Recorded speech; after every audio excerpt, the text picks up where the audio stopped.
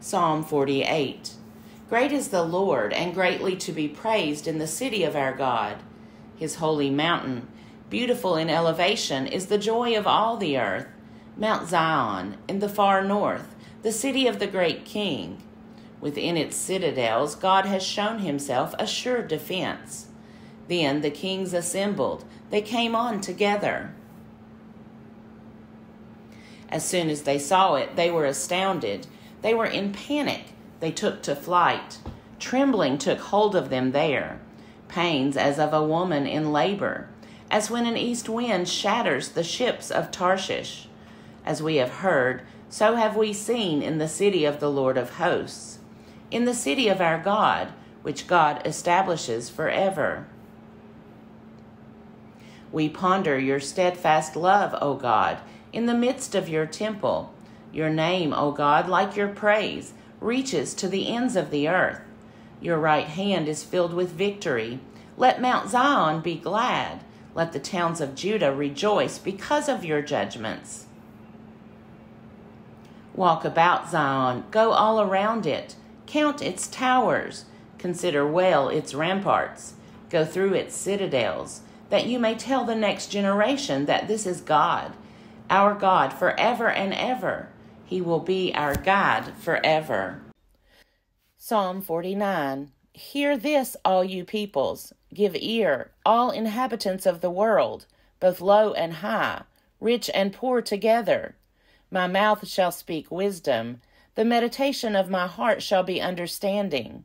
I will incline my ear to a proverb. I will solve my riddle to the music of the harp.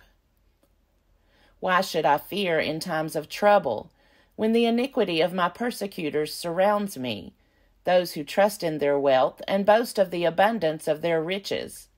Truly, no ransom avails for one's life there is no price one can give to God for it, for the ransom of life is costly and can never suffice, that one should live on forever and never see the grave. When we look at the wise, they die.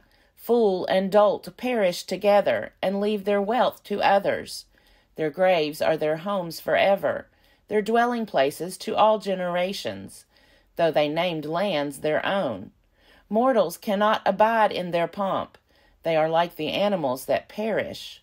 Such is the fate of the foolhardy, the end of those who are pleased with their lot. Like sheep, they are appointed for Sheol. Death shall be their shepherd. Straight to the grave they descend, and their form shall waste away. Sheol shall be their home. But God will ransom my soul from the power of Sheol, for he will receive me. Do not be afraid when some become rich, when the wealth of their houses increases. For when they die, they will carry nothing away. Their wealth will not go down after them, though in their lifetime they count themselves happy. For you are praised when you do well for yourself. They will go to the company of their ancestors, who will never again see the light. Mortals cannot abide in their pomp. They are like the animals that perish. Psalm 50 The mighty one, God the Lord, speaks and summons the earth from the rising of the sun to its setting. Out of Zion, the perfection of beauty, God shines forth. Our God comes and does not keep silence. Before him is a devouring fire, and a mighty tempest all around him. He calls to the heavens above and to the earth, that he may judge his people. Gather to me my faithful ones, who made a covenant with me by sacrifice. The heavens declare his righteousness, for God himself is judge. Hear, O my people, and I will speak. O Israel, I will testify against you. I am God, your God. Not for your sacrifices do I rebuke you. Your burnt offerings are continually before me. I will not accept a bull from your house or goats from your folds. For every wild animal of the forest is mine, the cattle on a thousand hills. I know all the birds of the air, and all that moves in the field is mine. If I were hungry, I would not tell you, for the world and all that is in it is mine. Do I eat the flesh of bulls or drink the blood of goats? Offer to God a sacrifice of thanksgiving and pay your vows to the Most High. Call on me in the day of trouble. I will deliver you, and you shall glorify me. But to the wicked, God says, What right have you to recite my statutes, or take my covenant on your lips?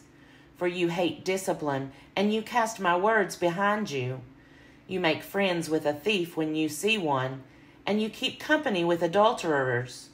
You give your mouth free rein for evil, and your tongue frames deceit. You sit and speak against your kin. You slander your own mother's child. These things you have done, and I have been silent.